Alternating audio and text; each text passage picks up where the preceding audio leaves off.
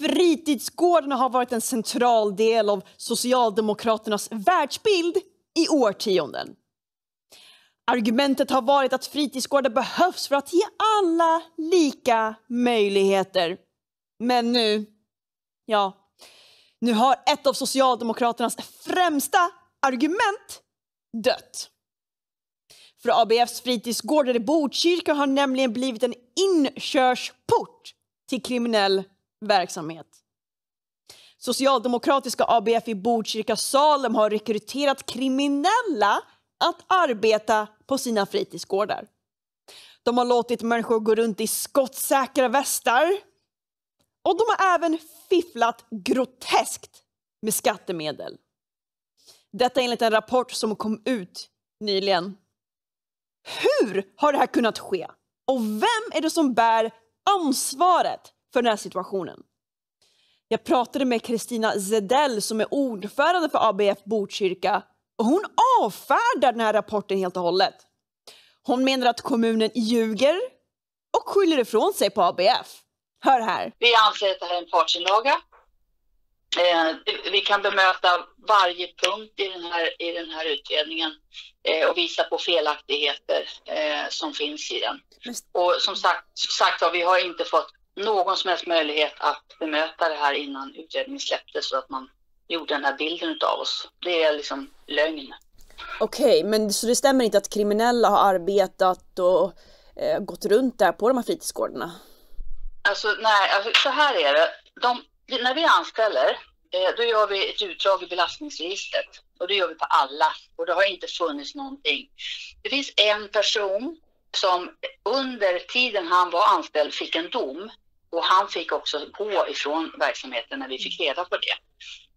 Annars har vi också tittat, vet, det finns ju två olika typer av belastningsregister. Det ena är det här som, som vi bara kan se eh, när, när, det gäller att man jobbar med barn. Och det handlar om sexualbrott och allting sånt där. Mm. Övriga brott ser inte vi. Men nu har vi också, i och med att de begärde in de här uppgifterna, så, vi, så har vi granskat, verkligen granskat varenda anställd utifrån eh, belastningsregistret och det finns ingenting. Men hur kommer det sig att eh, utredningen eh, sa det här då? Så varför inte ja, ljuger de då? Fråga, fråga utredningen. Okej. Okay. Um, ehm, mm. Men det, så det ligger alltså ingenting i det här?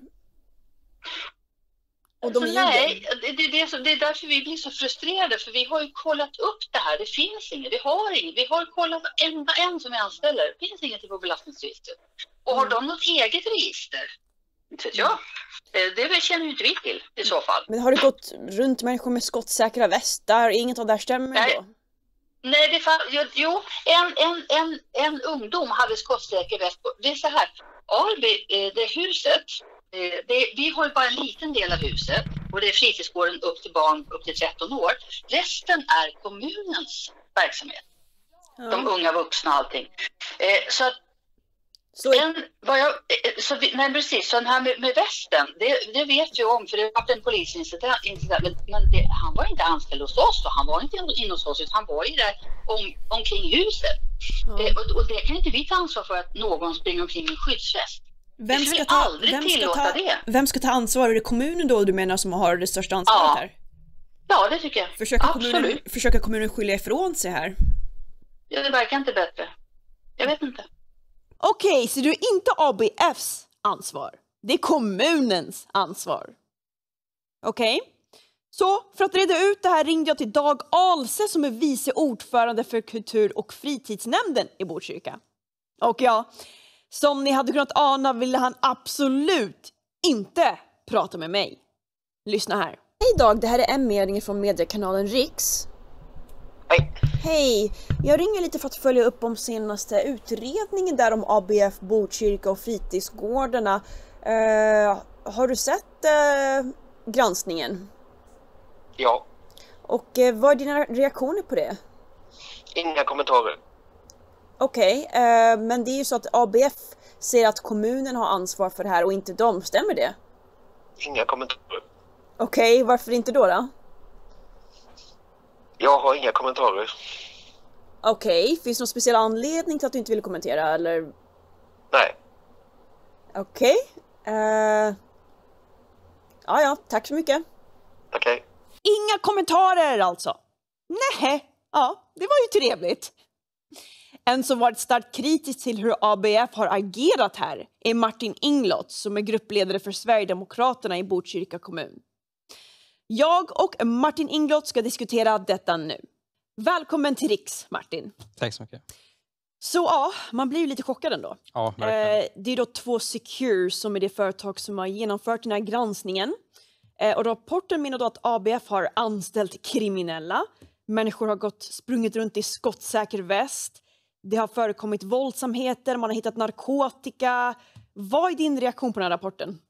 Jag önskar att jag kunde säga att jag är lite förvånad, men jag har ju faktiskt varnat lite för det här tidigare, bland annat då i kommunfullmäktige om att eh, jag läst polisrapporter om att det förekommer sån här kriminell verksamhet med narkotikaförsäljning och rekrytering av ungdomar till ungdomsgäng och liknande. Så även om det är upprörande uppgifter så är jag inte superförvånad faktiskt att det händer i Botkyrka. Men så, där, så det här är inte nytt egentligen? Alltså egentligen inte, för det har ju funnits polisrapporter som pekar på att eh, fritidsgårdar fungerar som sådana här rekryteringsverksamheter på olika ställen, bland annat då i norra Botkyrka. Så att jag är inte superförvånad, men just den här rapporten verkligen konkret sätter fingret på pappret liksom och visar att ja, Mm, mm. Ja, men så det här handlar förstås om eh, väldigt mycket mm, ja, men illegal verksamhet men det handlar även om ABF-ledningen som inte verkade vilja någon, göra någonting åt det här helt, helt enkelt. Det var en ledningsperson för ABF som eh, inte ville att man skulle anmäla kriminell aktivitet till polisen.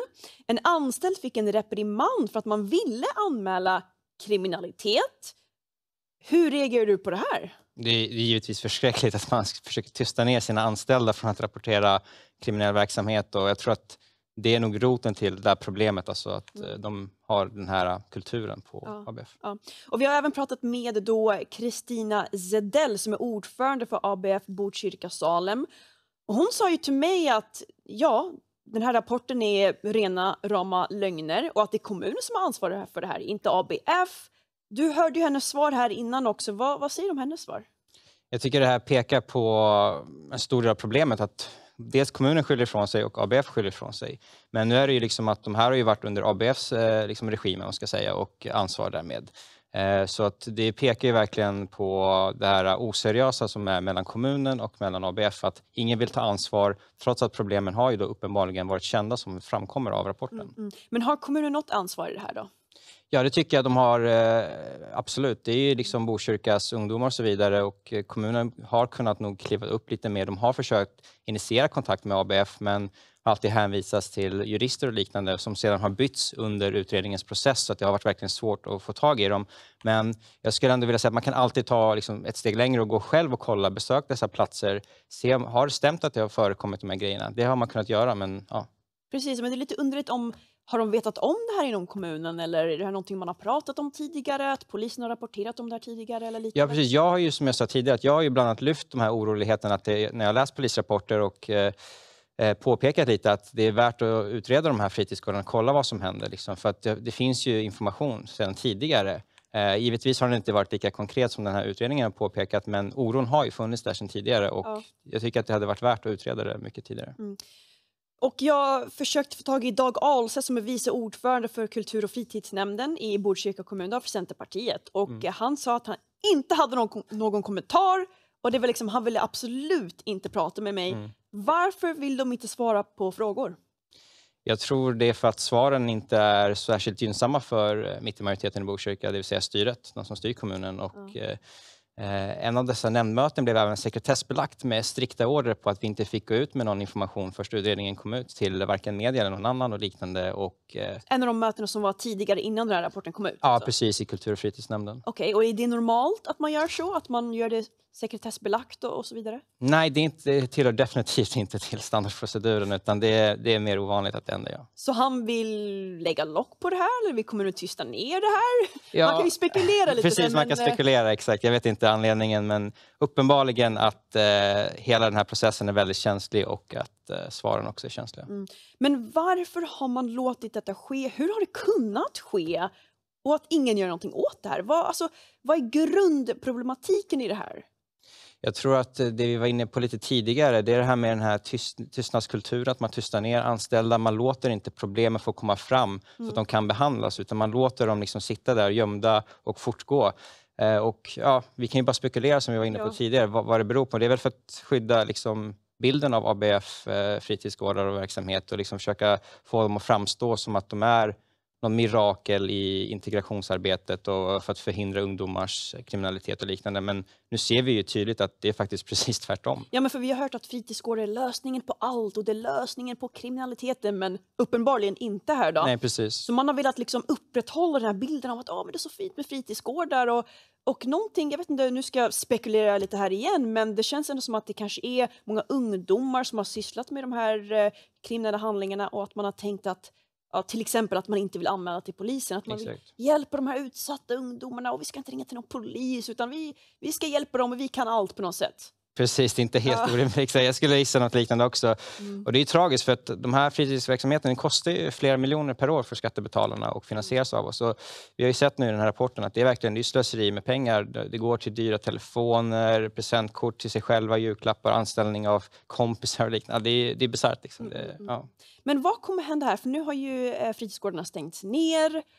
Vad händer nu? Ska de börja bygga upp de här fritidsgårdarna igen eller har du någon information om det? Ja, precis. Nu har ju kommunen tagit över verksamheten och eh, som vi såg i ABFs eh, pressmeddelande så har de ju ironiskt nog anställt för detta anställda som var anställda av ABF till eh, nu när de ska styras i kommunens regi. Så att, eh, det blir lite så här, hur seriöst tar de de här rapporterna om de ändå sen går och anställer en del av personalen som de då påstår har Samma kriminell bak- personal som, är, som Ja, har precis. kriminell bakgrund? Ja, precis. Det är enligt vad eh, ABFs pressmeddelande hon påstår att inte ens kommunen själv verkar ha tagit sin eh, rapport så seriöst eftersom att de går och återanställer en viss del av personalen. Så att, Okej, ja. men hur, alltså, vi kommer förstås fortsätta följa det här, men Mm. vad kommer bli av med det här? Det kommer bli samma sak igen, att vi får bara förvänta oss det och att det inte kommer bli bättre eller? Vi, Vad... vi får ju hoppas dels för ungdomarna och dels för de anställda att eh, nu när det är i kommunens händer att det blir mycket mer transparent och att när problem uppstår att de verkligen kommer till botten med dem och behandlar dem och ser till att det inte uppstår allvarliga problem igen. Ja. Och vad vill ni göra åt det här då? Vår lösning på det här, vi vill ju faktiskt lägga ner de här fritidsgårdarna och starta någonting helt nytt. En lite hybridlösning eh, i kombination med vad vi kallar Botkyrka e-sportcenter. Det skulle vara en möjlighet för ungdomar att umgås, eh, skapa gemenskap, men vi skulle även erbjuda utbildningsmöjligheter där i form av programmering inom IT och liknande så att man kan komma dit dels för att umgås, spela lite spel, titta på e-sportsturneringar, socialisera, men också kunna få utbildning inom programmering och så vidare, förbereda sig för ett framtida yrke. Mm. Eh, Och för oss är då nyckeln också att man skulle ta bort många av ungdomarna från gatan så att de inte hänger ute på torg där det för, föregår öppen drogförsäljning och liknande. Mm. Utan att de kan sitta, skapa gemenskap, umgås och sen även utbilda sig själva. Men det var nog allas ambition med fritidsgårdar, att det ska bli en mötesplats för alla fina människor som ska Ja, sjunga Kumbaya, men liksom, hur ser man till att inga fler kriminella kommer in på de här fritidsgårdarna? Det är att man är stenhård med att eh, man skjuter ner sånt beteende direkt. Man har ordningsvakter, väktare, Mm. man ser till att eh, allting sköts fint, inga, liksom, att man, ingen tystnadskultur, att man trycker ner och gömmer undan problemet, utan man lyfter fram dem och faktiskt löser dem istället. Det är definitivt Så det som ja vi till kan- fritidsgårdar med mer sträng kontroll helt enkelt på det här. Ja, till vå- vårt sätt i alla fall, där man kan erbjuda utbildning också och att det sköts på ett fint sätt skulle jag säga. Som ja, vi föreslår då Botkyrka till exempel e-sportcenter. Just det. Tack så jättemycket Martin Inglott. Tack så mycket. Och tack allihopa för att ni tittade på Riks.